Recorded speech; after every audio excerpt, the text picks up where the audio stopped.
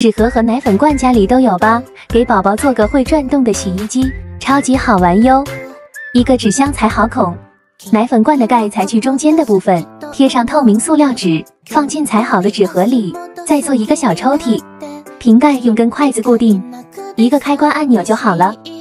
再用两根筷子做个梯子形状，奶粉罐底部钻个眼，随意转动，这样衣服也会跟着滚动起来。学会了就给宝宝安排起来吧！